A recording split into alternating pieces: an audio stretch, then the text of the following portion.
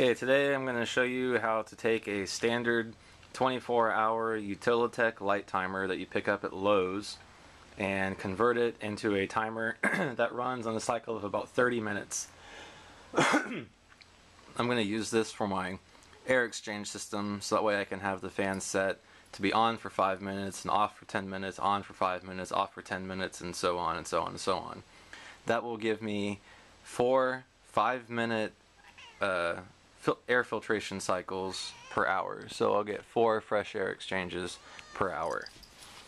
Uh, to do this mod, all that you need is a flathead screwdriver, a nail, super glue, and a syringe to apply the super glue. That's the best way I found how to do it because you have to be very precise.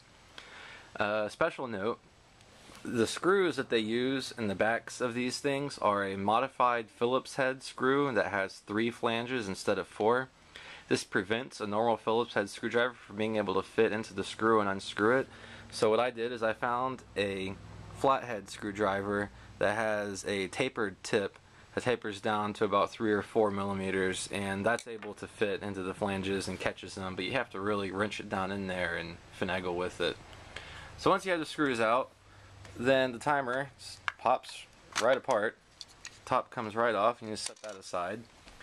And let's take a look at the inside of the timer here. This is the gearbox. And this is the mechanism that allows the switch to turn on. So as the tabs are pressed down, they rotate through around here, and when the tabs press down, it catches on this thing, and as the timer rotates, then that'll push that down and that flips the switch on. Now with the previous mod that I found from THC Farmer, what he did is he reorganized the gears in the gearbox such that the lowest gear is bypassed. And that's this gear right here. He was bypassing that gear, um, removing one of the cycles, speeding everything up. But the problem with that, it makes the timer turn at the right speed, but then when you reassemble, the whole thing, it won't flip on because the engine or the motor doesn't have enough oomph to be able to push the tabs over this little bump and then cause the switch to the press. So it just gets caught about halfway right there, then never fully engages. So the timer just stalls. So I tinkered around with it for a while and came up with a new mod that corrects that. And it really isn't much more difficult. It's slightly more involved, but not extraordinarily so. So, what we're going to do is we're going to pop open the gearbox, and that's done by, there's a little tab on either side of the gearbox here. So you just kind of use your fingernail and you can pop that right open. Do it carefully. I popped off one of the tabs the first time I took it off and on, on this side. And it all still snaps together fine, but just uh, be mindful of how you do it. And here we have the disassembled gearbox. And the, the motor sticks behind and you can just pull that out and set it set it aside. So now what we do is, tweezers are handy for this, disassemble the gearbox and do it in such a way that you, you can you know keep the gears organized.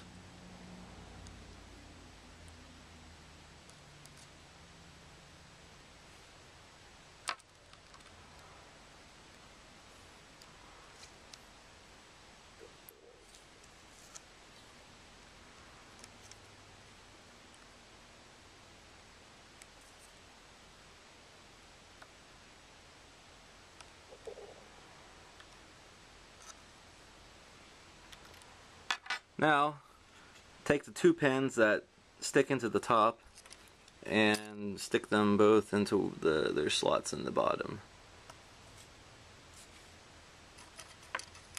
And they're not screwed in or glued or anything. They just pop right into the holes. Okay, next step is put the gear, the first few gears back. So Okay, so this is, let's, let's call this column, the, the gears that go in here, column 1, gears for column 2, this is the drive shaft, and then this is the motor. So we're going to put gear 3 back on the column 2 and that just fits right down on there. And then we're going to put the drive gear back on and we're putting putting them all back in their original orientation nothing is being inverted. And as you put the gears back you want to make sure that they re-engage with each other and that they lock into place. And we'll put the red gear back.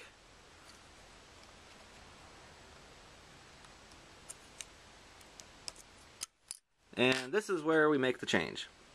So, what you want to do now is go ahead and pull out the pin for the second column and just leave the gear where it was. And what we're going to do is we're going to take these two gears here. And these this is gear 1 and 2 for column 2, so the central column there, the pin that we just took out. And both gears, they're the same size, they're identical. One's just yellow and one's just white. So,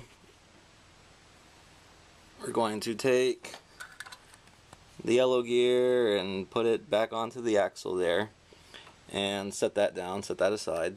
And now we're going to take the third gear for column 2 and we'll use the nail or anything you have that can scratch and we're going to score around the axle. You can see there's a little hole in the center, maybe, where the axle goes. So what we're going to do is just scratch the hell out of the plastic all around where that axle goes. And that'll create little holes for the glue to grab onto and you'll get a much better adhesion between the two gears. So, once you have the gears scored, take your needle and suck up some super glue into it if you can get the lid off okay whatever.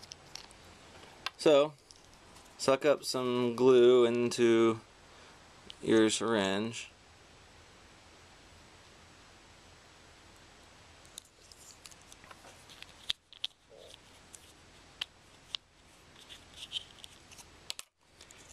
And apply a very, very small amount around the bottom of the top gear around the hole where the axle goes. And you'll want to be incredibly careful when you do this to make sure that you don't get any glue into the axle hole because that will really screw up the design. So once you've deposited some glue around the axle hole, then, very, very carefully again, because you want to watch, you know, the glue with this stuff, slide the gear back onto the axle, so that way it's resting on top of the first gear, and just hold them in place for a few minutes.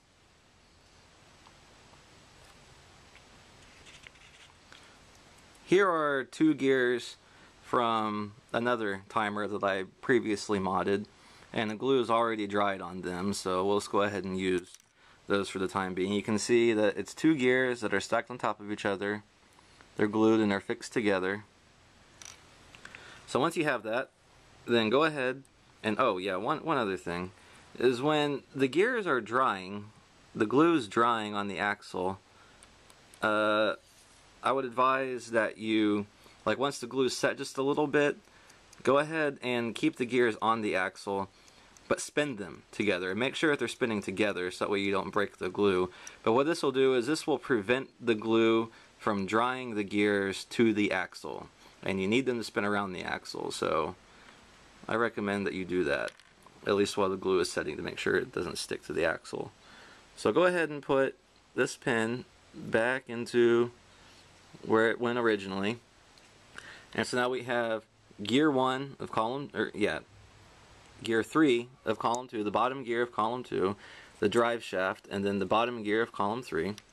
Now take the two gears you just glued together and stick those on top of column 2. And now what we have is the red gear is engaging the bottom of the two gears that we glued together. And then the bottom gear is turning the top gear. And we'll put the top gear back on the first column, the left hand most column. Oops.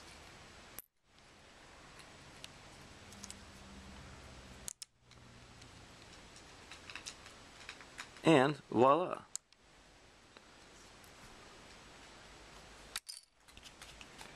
So now we'll grab the motor and put the motor back onto its axle and we can test to make sure that all the gears are properly engaging with each other.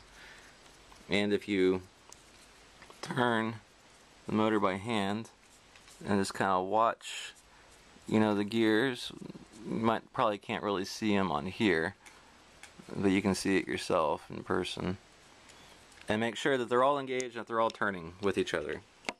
And now we just snap the gearbox back together with the motor and the timer. And it should work. Takes a little finesse to hold everything in place. But you'll get used to it with practice.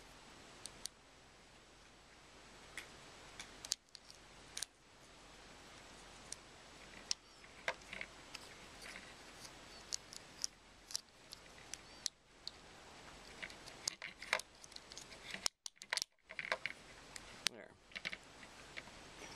And now uh, we can plug in the timer and watch and see if the gears actually do turn. Now be careful when you do this. There are lots of terminals, live wires exposed. So I claim no responsibility if any of you kill yourselves by electrocuting yourselves plugging this thing in with all the bare terminals exposed. So just be really careful when you do it.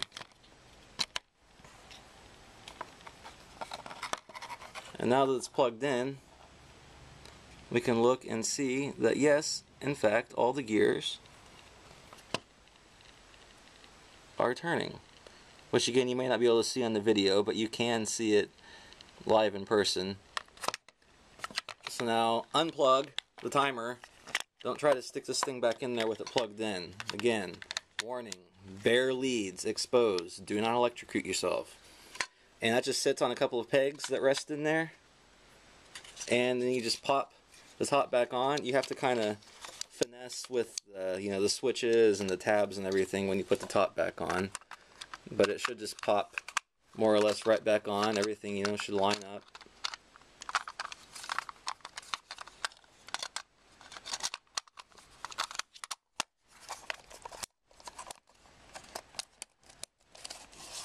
and screw it back together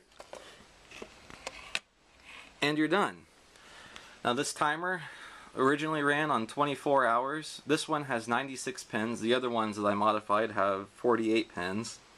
But they all run on almost exactly a 30 minute cycle. So each tab on the uh, 48 pin, each tab was about 52 seconds. And so on this one, each one should be about 26 seconds. Uh, and uh, saves you about $150. I looked around online, lots of places, to try to find an hour cycle timer, and the cheapest one I found is about 150. This timer here is a two outlet grounded Utilitech 24 hour light timer. It costs about 9 bucks at Lowe's. You can also get the standard one outlet non-grounded Utilitech light timers. They cost about 7 bucks at Lowe's and they all have the same gearbox inside. I've looked at about three different Utilitech timers and they all have the same gearbox. There are incredibly negligible differences between the one outlet and the two outlet, uh, but all of the gears are arranged the same and this modification technique should work for all of them. I've tested this and the motor does not stall out. It still operates and flips on and off. So good luck and enjoy.